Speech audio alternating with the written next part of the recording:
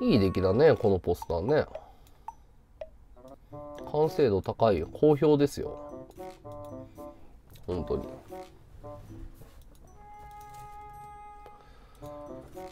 ポスターかっこいいよね。これ、俺も部屋に飾りたいもん。なかなかいいポスターだなと思って。うん、いいよね。普通にかっこいいよ、これ。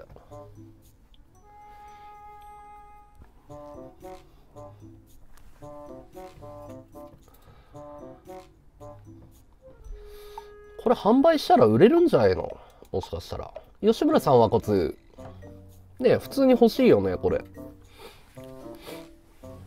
なんか、職人さんがちゃんと作った感じがして。まあ、便所太郎さんがちょっとやっぱね、主催者だから目立つけど。いや、まあ、これくらいはいいんじゃないの？メインマッチだし。うん。あの、ね。まあ、本人主催だっていうことで。うん。つみきちゃんはどつ、お金かかってるだろうね、これ。多分、このデザインだったら、1万5千円ぐらい払ってもいいんじゃない ?1 万円から1万5千円ぐらいが相場だと思うよ。下手したら3万円取るところもあると思うよ。これくらいのデザイン力あるんだったら。うん。なおちゃんこんばんは。はい、今度はどつ買うサイン入りとかなら絶対買う。ね俺も何枚かもらう。このポスターは。便所さんに。もうそれは約束してるから。うん。ポスター欲しいよね。これ売ればいいんだよ、会場で。うん。ね絶対売れるよ、これ。まあ、非売品の方が価値が高くなるかもしれないよね。うん、非売品の方がプレミア感出るかもしれない。まあ、俺はほら、関係者だから多分もらえると思うんだよ。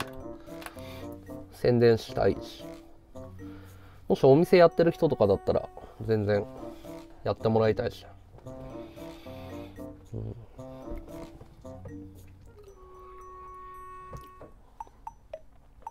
2000円ぐらいでも元取れんじゃないの？これ。2000円で100枚でいくら ?2000 円で100枚で、えー、2万円 ?20 万円？うん ?2000 円で100枚、20万か。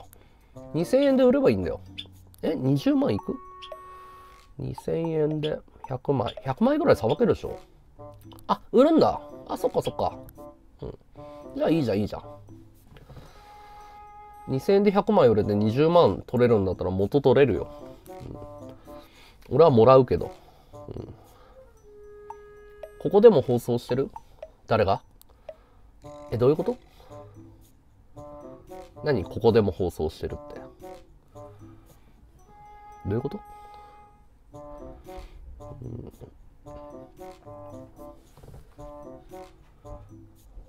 ん、意味がわかんないな。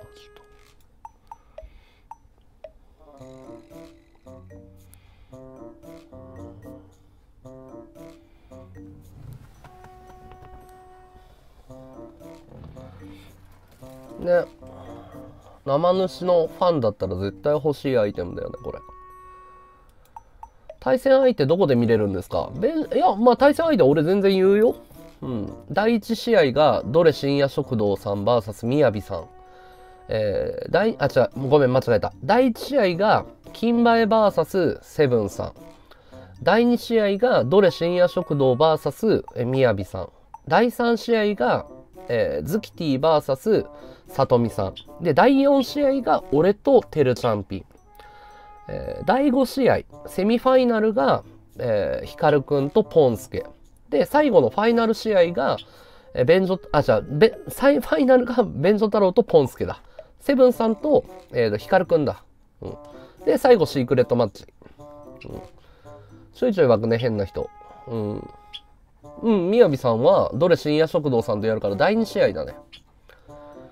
うん、格闘技の話？ここでも放送してる？え、どういうこと？格闘技の話？ここ以外、え、どういうこと？ここでも、ん？意味がわかんないな。格闘技の話？ん？他にやってる人いるの？どういうこと？日本語がわかんない。さとみさんの相手は、そう、ズキティさんって言って、あの、体重120キロの女性かな、うん、体重120キロぐらいの巨漢の女性？うん。この人。うん、そりゃそうでしょ。女 VS 男じゃないでしょ。この、愛しのビッグバンガール、ズキティっていう人と、うる、え？うるわしの中門マーメイド里美って言って、この二人が相撲を取る。女相撲だね。この、この試合は。この試合だけルール女相撲です。あと、便所太郎さんはボクシングルールだったかな？うん意外とこの試合が一番盛り上がるんじゃないかってね、関係者では持ちきりですよ。多分ね、怪我する可能性があるのは、この女の子2人の試合とかが意外と怪我するから、気をつけないとねっていうのはミーティングで話したけどね。うん、新しいフォロワーさん、ケニーさんフォローありがとう。160キロ そんなに重たいの？うん。あ、イベント見に行くんだ。よろしくお願いします。ぜひぜひ。うんじゃあ、ここでアンケートじゃないけど、えー、和道を応援する人は和道ね。えー、テルチャンピンを応援する人はテルチャンピン。正直に書いてください。はい。うん。テルチャンピンの人はテルチャンピン。俺ニコ生で放送してないですよ。このポスター、みやびだけずれてるような。そうなんだよね。なんかみやびさんだけ、なんかその解説とかの方に回ってるんだよね。なんで選手側の方に行かなかったんだろう。ケニーさんはどつ。和道うん。和道が、和道、和道。うん。ありがとう。俺、テルチャンピンのファンいないの？ワド。なんで笑いなんだよ。なんで笑いなんだよ。まあ、ここで聞いたらそうなるか。ゆいかさんはもう完全に不参戦っていうかもうなんか芋引いて逃げたね。少し動いただけで息切れちゃう。まあ相撲だからね。うん、テルチャンピン。タメ語はテルチャンピンだ。ワド。うん。なるほど。じゃあ、ニコ生引退したのなんかもう半年以上前だよ。とっくにやめてるよ。うん。ニコ生やめたのどれくらい前だ？俺だってふわっちでもう半年経つもんね。ずっとやってて。ワドさん、ありがとうみんな。うん。つみきさん、ワドさん。金梅さん出るよ。第一試合だよ、金梅さんは。ありがとう、ゴンタ。なるほど。じゃあ、一番楽しみにししてる試合はこの中で。この中の対戦カードで一番楽しみなのはどこ？みんな。俺はヒカルくん。正直言うと。ヒカル VS7 はマジ熱い。風船プレゼントありがとうケニーさん風船ありがとう俺はね、ここが一番熱いんじゃないかなと思って。結構本格的な試合が見れそうな気がする。みんな対戦カードは誰、誰が楽しみこの中で。この試合見てえな、みたいな。まあ、ユイガさんがいたらユイガさんなんだよね。えー、ズキティのダンスすごいんだ。勝ちたいね。メダル下げたいね。うん、6月まで時間ねえかんな。セブンさん2試合。そうだね。セブンさん2試合。あ、ドレさんは、いや、俺ドレさんに関しては安心感あるからな。うん、ドレさんはどういうファイトをするのか見たいよね。本気のドレさん。ヒカルくんいいね。俺もヒカルくん派。セブン光る。どれさんおい、和道だろ、そこは。お前ら裏切ったな。お前ら裏切り者だよ。そこは和道だろ。そこも和道だろ。金梅さんとセブンさん。第1試合が。で、えー、第6試合、え、第5試合か。第5試合でセブンさんとヒカルくん。だからセブンさん2回やる。あー、ネタに走る可能性があると本気で思ってるのは俺、金梅さんだね。うん。えー、あまねくん、バーガー2個ありがとう。ポンスケ便所がいいんだ。俺結構本格的な試合はドレさんとかヒカルくんだと思ってんだよね。まあ、ドレさんは勝つんじゃないかな。俺ドレさんに教えてもらってるから。ニコ生時代はどういう形で収益になってたの ?3 万円ぐらい振り込んでもらってたね。3、4万？マックス7万ぐらいいったかな。うん、勝つんだろう、見なくても。うん。あ、和道さんです。そこは俺の試合楽しみにしてくれよって言って。お前ら和道リスナーだろって。ひどいよ。うんそこも、あの、ちゃんと、ちゃんとして。うん、囲うならちゃんと囲って。バレるからね。まあ、ドレさん、ドレさんどうなんだろうなこう、俺、ドレさんもう勝つ確定ぐらいにしか考えてないから、なんかドレさんが負けたらなんか試合ドキドキするよね。うん、和道信者なんだ、めくらさん。うん、まあ負けることないだろうな。そう、みやびさんっておいくつぐらいの方なんですか？みやびさんの年齢誰か知ってる人います？金梅は100%規制上げてネタに走るのが目に見えてる。まあだから第一試合にしたんじゃない？だから、リバーブローで観光編でグエーっていうのを見たいんでしょ。俺はぶっちゃけ金梅さん絶対ネタに走ると思ってるから。100%ネタに走ると思ってるよ、俺。ネタに走らないはずがないじゃん、こんな大舞台で。だから俺は正直第一試合っていう、この弁城太郎さんの、なんつうの、気遣いというか、もう絶対負けると思ってるから。だって金梅さんが勝ってセブンさんがさ、メンツ立たないじゃん、第2試合。金梅さんも分かってるからそこはネタに走るでしょ。うん、2回やるんだから。勝つ気ないでしょ。でも、そう、意外とね、意外と熱くなっちゃって本気のぶん殴り合いとかになったら面白いよね。あれ、金梅さんガチだよ、みたいな。うん、まあでも、金梅さんのオープニングは俺大正解だと思ってる。俺も宮城さんの配信見たことないから、ただ格闘技は強そうなんだよね。なんか、ガタイとかさ、格闘家の体してんだよね。ギャラあるよ。うん。金額は、あの、大会終わってから言おうと思ってるけど、あの、契約書書いてるから。ドレさんとロハコさんを引き合わせるんだ？やべえ、危険な香りがする。ドレさんはマッチョですね。あの人イケメンでチンコ太そうだから僕大好きなんですね。つって。やべえな。楽屋が、楽屋が熱いじゃん。ドレさんとロハコさん、いいね。ドレさんとロハコさん、あれだな、オフ会誘う。ギャラ決まってますよ。300人ですね。ただ、今のペースでいくと確実にもう300人埋まっちゃうから、多分ね、50人ぐらい立ち見席が出るんじゃないかなと思って。当日。うん。当日立ち見が出るから多分350人ぐらいの超満員だと思うよ。これは集まるでしょ。これだけのメンツ5000円で見れるんだもん。しかもさ、しかもだよ。この、これだけのメンツを5000円で見れて、あの、生で見れるんだぜ。だって対戦カードだけじゃなくて、これ芸能人も来るの。あの、お客さんで。もう結構芸能人の人で配信好きな人とかいるんだよ。芸能人来るのも、俺誰だかは聞いてないんだけどもう、噂で、あの、3人4人って聞くの、名前を。で、あと石川紀之、桃襟、ナーボー、新野町。なんかこの人知らないけど、えー、っと、あとなんだっけ、あの、なんか美人姉妹。で、TJ でしょ。このメンツで5000円のイベントってさ、配信好きな人は絶対来るでしょ。俺普通に客だったら行くもんな。あ、これはニコニコ超会議とかいうレベルじゃねえなっていうか。金取れるカードだよ。本気のぶん殴り合いだもん。うん、まあ友達だからね。ロハコさんは。ロハコさんってもともと俺のリスナーだったんだよ。だから、その関係性が深いの俺、ロハコさんつながり深いの。売上で150万以上。えーとね、違う。えーとね、ギャランティーだけでも、ギャランティーとあとボディーガードとかもつけるの。あとチケット販売とか、いろんなスタッフ総額で190万とか言ってたよ。もう飛ぶの確定してるのが190。やばいよね で、だからプレミアム席とか作ったけど、ぶっちゃけた話、もう赤字覚悟でやってるって言ってたけど、それね、俺、工業とかわかるもん。そう、なんでかっていうと、例えばね、まあ、ポスターのデザインとかでもこれ3万とかするのにもね、5万とかかかるんですよ。で、弁所太郎さんどれくらい本気かっていうと、対戦相手勝つ場合あるじゃん。そしたらトロフィーとかじゃなくて、こういうメダルとかも用意してんだけど、この本気具合。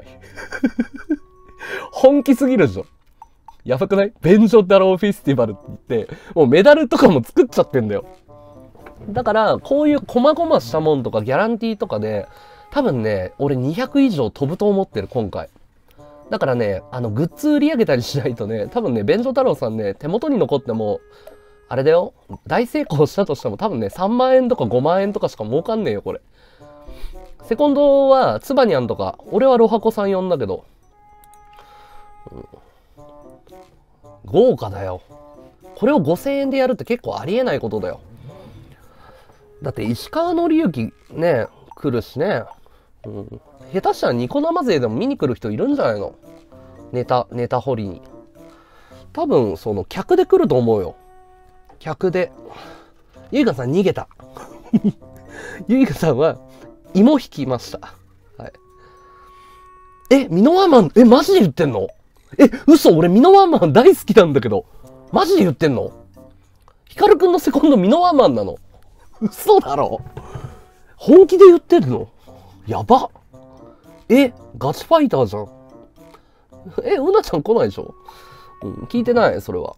多分来ないと思うよ、シャンマンは。来たらいいんじゃん。来たら嬉しいよね、俺らは。うん。ワド誰とやんの？俺はね、あの、テルチャンピンっていう24歳のスポーツマンだね。ミノワマンいいね。夏いね。ていうか、ミノワーマン すげえな、ヒカルくん。マジか。ううわ、サインもらおう。ツーショット撮らせてもらおう、ミノワーマンと。やべえ、超熱い。え、それ本人が言ってんの？セコンドミノワーマンって。いいなマジか。熱っ。ミノワーマン見れんのかよしかもあれでしょ？レフェリーの人って K1 とかのプロの人なんだよね、確か。あの、ドクターとかも。すっごいガッチガチに固めてんだよね、今回。マジでほんと激アツだと思うよ。5000円でこれ見れないよ。しかもさ、みんなさ、あの、すごい遠いと思ってるじゃん。違くて、すごい狭い箱だから、多分ね、一番後ろの席からでも全部見えるぐらいの席だよ。チケットまだ、あの、残ってるはずだよ。ただ、便所太郎さんの手元の販売あるじゃん。あの、3分の1ぐらいを販売したのよ。まあ、これくらいさばけるかなっていうテストで、便所太郎さん個人でチケットさばいたら、えっ、ー、とね、2秒で完売したんだよ。2秒で。で、俺のリスナーさんも買えなかったっつってクレーム来たもん。ワドやばいよっつって。2秒で完売だよって。トイレ行ってる間にチケット買えなかったよって。そのレベルだって。ミノワマンっていう人はプロの格闘家。うん。検索してみるとわかるけど、ウィキペディアとか出てくるレベルでしょ。ミノワマンは。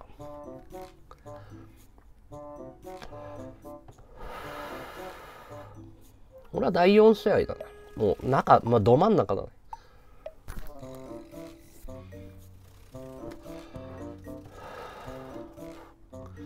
和道ミノワマンなファンやろ。好き好き。ミノワマン好きだよ。普通にサイン欲しいよ。ミノワマン。いいなぁ。ヒカルくんいいなぁ。ミノワマン知らない人いるんだ。結構有名なファイターだよ。8000円の席取る予定あそうなんだ8000円だと撮影権利あったっけ？ミノモンタじゃねえよ、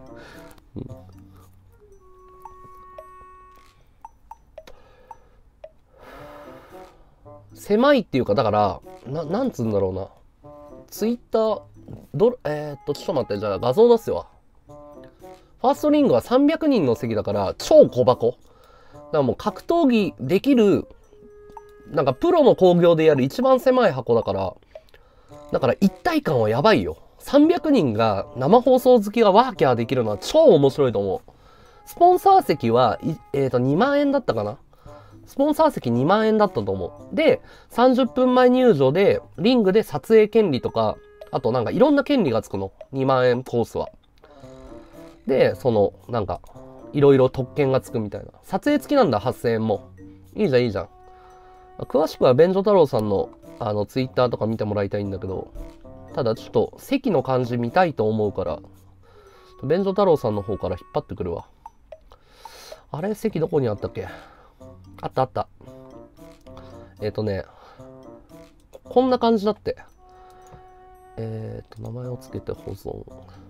ちょっと待ってね、今、ダウンロードするから。ちょっと待って。えっ、と、名前の変更。名前の変更じゃなくて。ちょっと待ってね。ちょ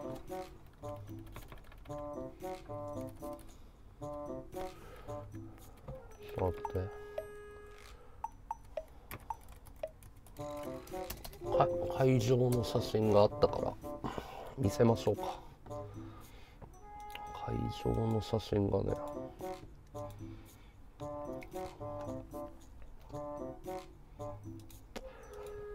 こんな感じだって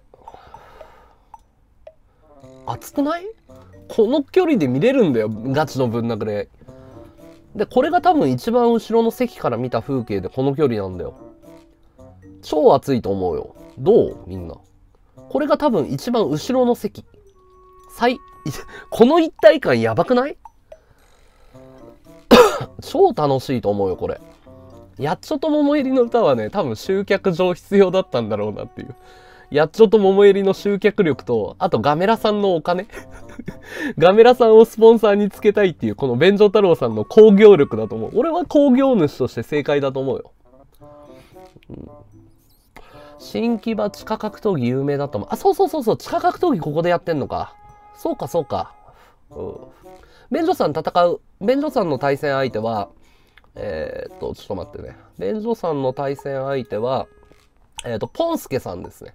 で、ボクシングルール。ポンスケさんです。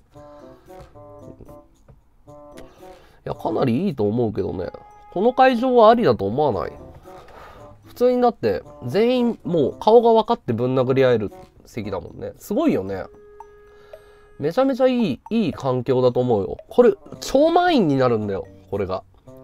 すごい楽しいと思うよ。そうだね。まあだけど、これは期待していい配信だと思うよ。ファイトマネーもらえるの？ファイトマネーっていうか、まあギャラは出ますね。出ます。ただ、金額に関してはマナー違反だし、あの、放送？この大会が終わった後公表しようと思ってます。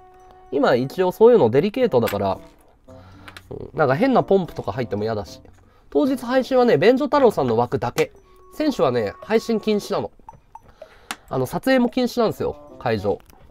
だから、あの、俺は、あその、なんつうの、控室か。控室で、その、YouTube の動画撮ろうと思ってる。その、裏、裏編みたいな感じで。台本ない。マジでガチ。だから、あの、6月以降になったら、便所太郎さんのやりとりとか全部暴露するよ。ちゃんと、イベントが終わったらね、こういう裏話があってっていうのは、あの、6月以降やるんで、それ楽しみにしててください。リスナー同士の乱闘勃発が起こらないために、あの、なんだっけ、ボディーガードとかもプロも雇ってる。だから、あの、なんつうの、なんだっけ、結構本当に金かけてやってる。すごい本気だよ。裏話ってつまり台本じゃ。いや、別に台本はないよ。本当に。うん。台本ない。そうじゃなくて、あの、ギャランティーであったりとか、あと、その、なんだろう。楽屋で何があったとか、そういう話ね。台本はないっすね。だって金取って台本やったら多分普通にあのこの世界でやっていけなくなると思うよ。うん、いやこれ当たり企画だよね本当に。俺このイベント成立させてんのすごいと思うよ。これが優勝した優勝っていうか対戦相手に勝った時のメダルですね。あ、コマティンどうなんだろうね。俺もコマティンとか柴田とかいろんな噂が出てんだよ。シークレットバトルっていうのが最後にあんの。で、それは聞いてない。誰なのか。コマティンなのか、柴田なんじゃないかとかいろんな噂がある。うん。その、ベンジョ太郎さんのファイナルの後に、あの、なんだ、シークレットバトルがあるらしい。それは当日発表だって。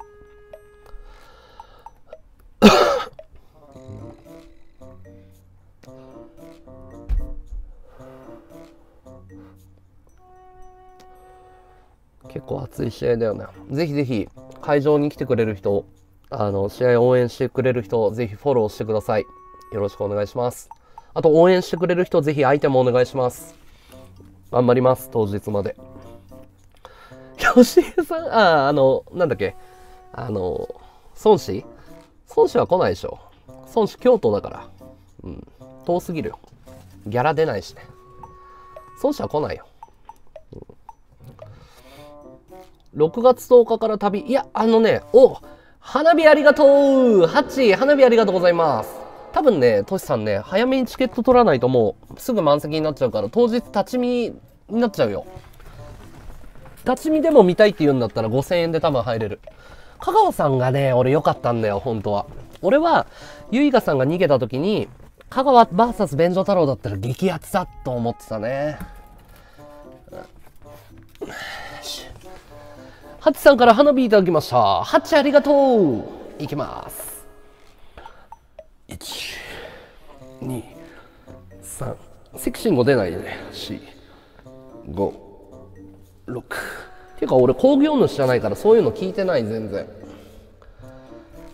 誰が出るかとか全然わからん。公表されてんのみんなと一緒だよ。むしろリスナーの方が詳しかったりするから。便所さんと繋がってないとダメよ。その辺聞けないでしょ。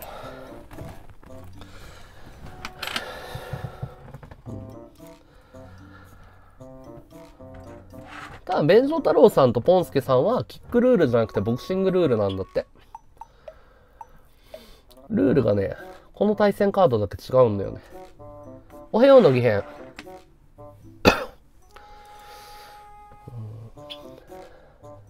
これね、人数入ってない。何人ぐらい入ってんだろう、これ。30人ぐらいだけど、これの10倍入るって考えたらすごいよね。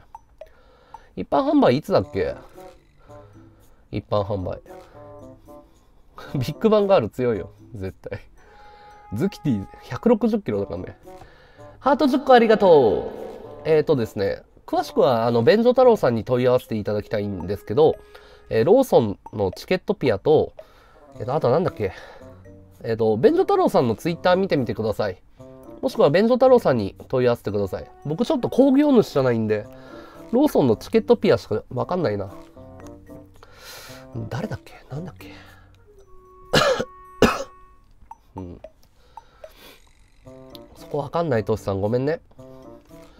夕方までオープンキャンパス行ってからそのまま試合見に行こうかな。5000円だぞ。5000円だぞ。うん。だったらチケット買ってがっつり席座ればいいじゃん。配信はね、便所太郎さんの枠のみですね。うん。3月下旬か。チケット販売は。配信では流れない。僕の配信はないです。あの、契約書にそう書いてあるんで。僕の配信は開かれません。配信禁止なんですよ、出演者は。ていうか、選手って、あの、リングにも上がれないし、会場歩けないの。だから、みんなと会えるのはリングの上だけですよ。試合が終わるまで。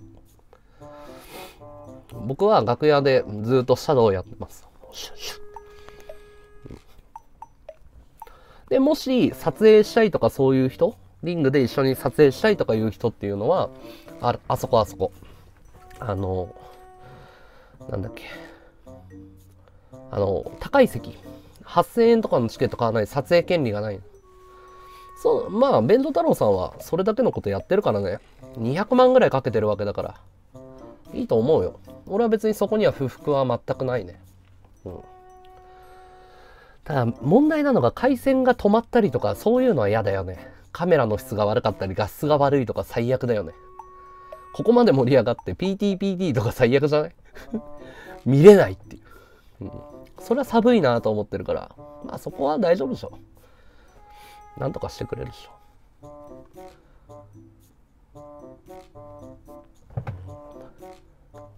あとマスコミも来るらしいよ。まあ本格的すぎるよね。マスコミが来るんだって。やばくない？なんか、本当のイベントをやりたいらしくて、興行として。このイベント続けてでっかくしたいんだって、弁蔵さんは。だから、あの、プレスリリースって言って、ちゃんとあの、マスコミも呼ぶっていう。本気だよね。考えられねえわ、マジで。金梅さんの顔あるよ。金梅さんの顔ある。うん、ほら、うん、金梅さんの顔あるでしょちゃんとありますよほらただなぜか金梅さんの扱いちょっと小さいんだよねテレビを呼びたいとは言ってたけどねまあでもおそらく食いついてくれるのはトースポあたりなんじゃないかっつって笑ってたよ テレビまで行きたいなって言ってたけどうん。トースポあたりに乗ったら勝ちだなっていうのが、便所さんの読みじゃん。まあでも頑張ってるよ。テレビどっか絡めないかっていう。金梅さんはね、セブンさんっていう人と戦う。リスナー隠し撮りしたら多分裁判で負けるよ。うん。撮影禁止だから。うん。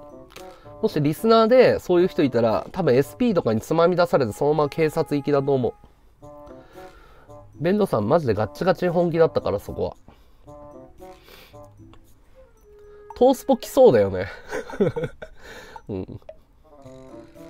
トーナメントじゃない、3ラウンド3分だね。9分間。アメバ TV どうだろうねわかんないけど。まあでも結構そのローカルテレビとかなんかサブカル好きなところは食いついてくれそうだと思うけどね。ポスターよく見えた。見る？一回じゃあ紹介しようか。一回紹介します。じゃあ皆さんいきます。えー、便所太郎フェスボリューム1捨て頃インターネット配信者、えー格闘技祭です。えー1対1のタイマンバトル包丁なしと。で左上を見てください。えーバールなし、ピッケルなし、チェンソーなし。おいバカかお前。便所よ。おい俺がよピッケル佐野だよおい。やっちゃうよ。おい何がバールだよ。ピッケルが一番強えからよ。チェンソー。笑わせんなこの野郎ごらんごらん部長ごらんごらんなあゲルケということで、えバールもピッケルもチェーンソーもないです。包丁もありませんと。リングの上で白黒をつけてもらいましょうか。ということで、ベンジョ太郎さん主催です。セブンさん空手じゃないかな。うん。セブンさんの蹴り結構重たそうだったよ。で、まあ、セブンさんとか、金馬さんとか、ちょっと塗りつぶされてんのこれよくわかんないんだけど。ドレさん、ズキティ、サトミ、テルチャンピン、ワード、3倍目光る、ポンスケ。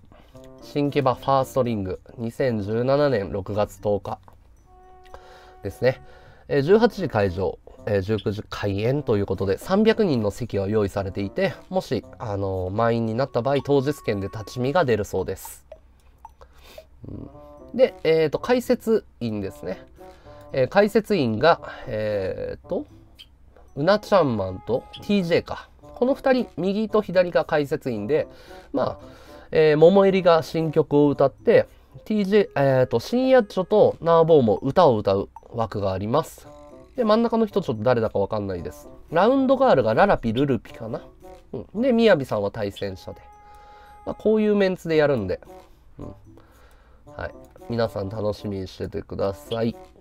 もしね、あの、ワード、あの、オフ会やろうと思ってるんで、この日。あの、負けなかったら。負けたらね、あの、オフ会とか言えないんですけど、怪我しなかったらオフ会やろうと思うんで、あの、参加したい人は会場来てくれて、オフ会だけやろう、行こうかなとかいうのも全然ウェルカムです。よろしく。殴り合いですよ、本当に。これ見たらいくらもらえるの？ん？わかんないな、ちょっと。うん頑張るわ、八王さんありがとう。頑張ります。ちょっとボッコボコにされてるんだけどね。リスナーさんとスパーリング生まれて初めてやったんだけど、7回、7回ダウンしたからね。スパーリングで。もしそれ見たい人は僕の YouTube 見てください。ランハゲ出たらいいのに。ランハゲね、強いらしいよね。ランハゲね。あ、でもランハゲ呼びたいみたいな声あったらしいよ。リスナーの中でもランハゲ呼べとか、なんか、その対戦カードの中でランハゲ良くない？みたいな。まああれじゃん。なんかタイミングとかあるんじゃん。セコンドの人はポスター乗らない。セコンドはあくまでセコンドだからね。うん。負けてもオフ会やろうよ。あじゃあやりましょう。いや、な負けてもっていうか、その怪我しなかったらね、本当にあの大怪我する可能性とか死ぬ可能性あるから、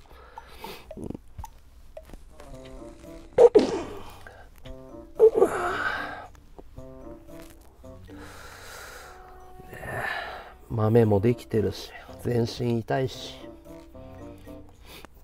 まあいつものメンバーまあ10人ぐらいになったらいいね。いつものメンバープラス。HMD がやらないんじゃないかな浜田は。どうだろう。でもまあ浜田 VS ランハゲとかめっちゃ面白そうだけど。アウトロー界隈が全然出ないんだよね今回。アウトロー界隈が。一枠ぐらいあってもいいのになっていうのはあったよね。うん、ラハゲいいよね。ラハゲは集客力もありそうだけどな。まあ5000円でこれだけのメンツ見れるのは結構面白そうだけど。チャンピオンベルトではないですね。勝った方だけに送られるのがこれですね。えーっと、弁当太郎さんのツイッターの画像から引っ張ってきたんだけど、2017年6月10日、ステゴロ、ボリューム1。これ勝った方だけに送られます。なので僕はこれを彼女の首に下げたいなと思ってます。プレゼントしてあげたいなって。結構本格的だよね。気合入ってるよ。いくらかかるんだろうね、こういうの。多分ね、1万とか2万じゃ効かないんだよね、こういうオリジナルって。すごいよね。うん赤いところはシークレットマッチなんじゃない？まあ、会場の広さこんくらいですね。うんはい、ランハゲはユイガ以外はやりたくない。ユイガ以外。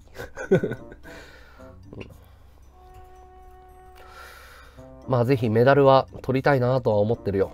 えー、ちいさん見に行くの？マジで？嘘ぜひぜひ、試合終わったら声かけてください。本当に練習してるの？はヒカルはちゃんとやってたけど、一応ちゃんとはやってるつもりなんだけど、うん。頑張ります。ありがとうございます。ヒカルくんはセブンさんって言って空手か？空手やってる人と戦いますね。ヒカルくんはキックボクシング、プロの人に習ってる。世界チャンピオンに習ってるんだって。ヒカルくんすごいセンスあるよね。めちゃめちゃすごいよ、あれ。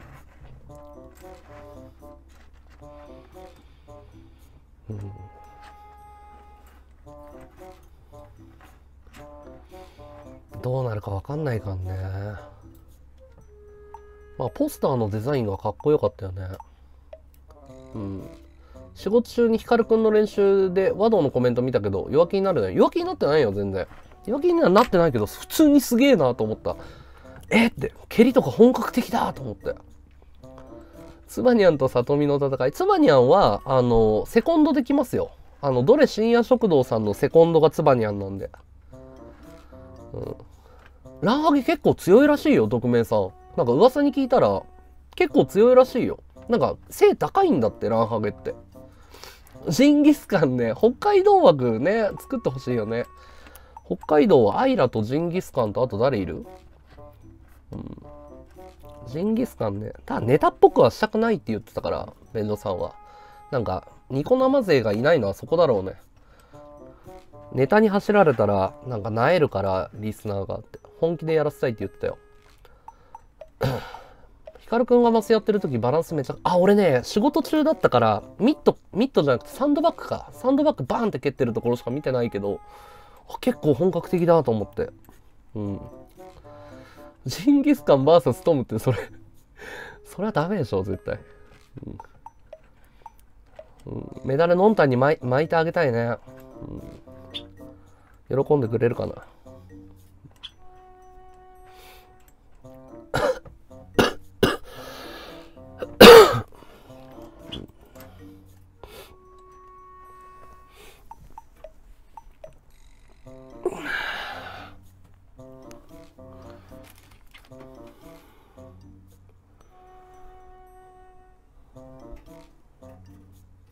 桃入りはね、歌、新曲の発表するって言ってたよ。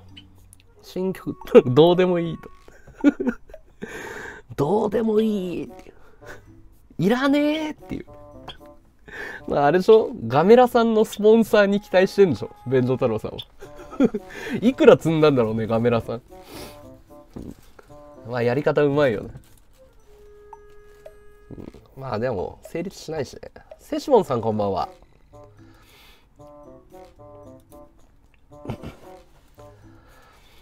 こんばんは。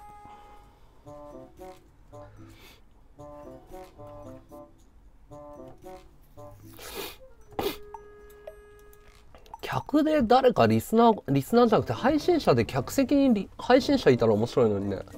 みどりさんとかいたら笑わない？マスクつけてない横山みどりとかいたら。うわ、偵察来てるよって。すっげえ笑うんだけど、俺試合集中できないでしょ。あれって。なんか先発くん抱いてこうやってみどりさんがこうやって見てたら面白いよね。くっそ笑うよね。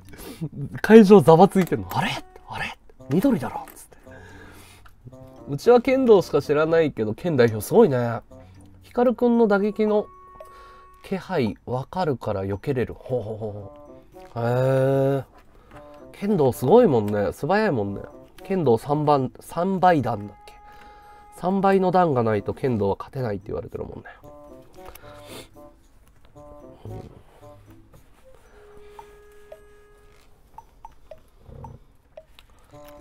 いや結構みんな楽しみにしてて俺もいいなと思ってるよ。いいイベントで。第1回参加できて光栄だなと思って。桃七バージョンの桃七桃七逃がしませんよって。ああ面白いね。ノエルが会場でドローン飛ばすっていうね。もうめちゃめちゃっていうねシャンマンとかねベンジョ太郎さん仲いいからもしかしたら客席とかにいたら激アツだよね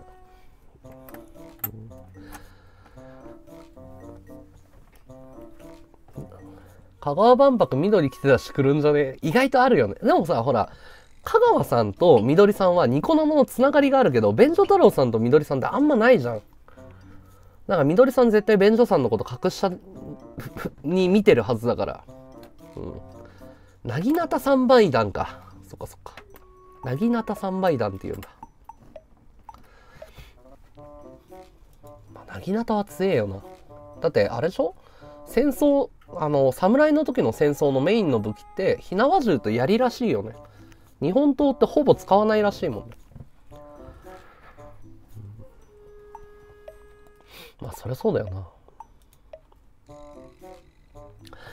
えー、ヒカルさん風船ありがとう。風船ありがとう。なぎなたはねなぎなた槍は強いもんねじゃあ僕はそろそろ寝ようかな。みんなありがとう今日で、今日で放送終わりにしますって引退会っていう。いや、今日は、今日で、今日、今日でじゃなくて、今日はこれで放送終わりにします。格闘技ギャラ出ますよ、ヒカルさん。出る出る。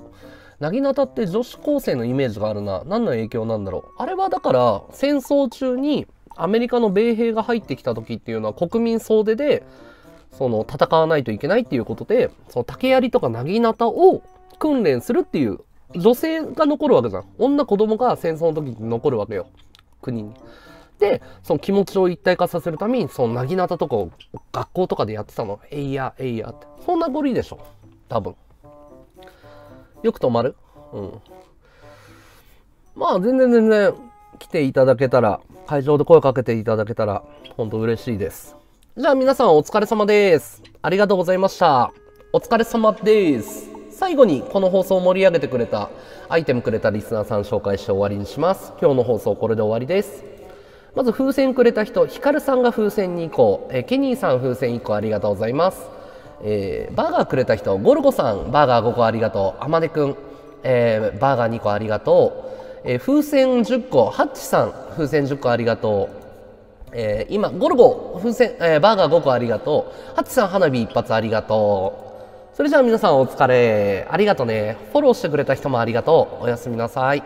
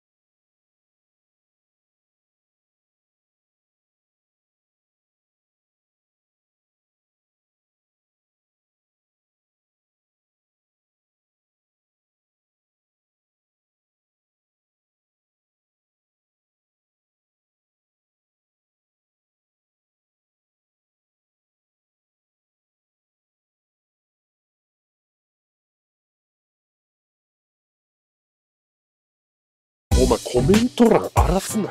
バカとかハゲとか書くなよ。なんでお前動画の内容も見ねえでお前バッドボタン押してんだよもう。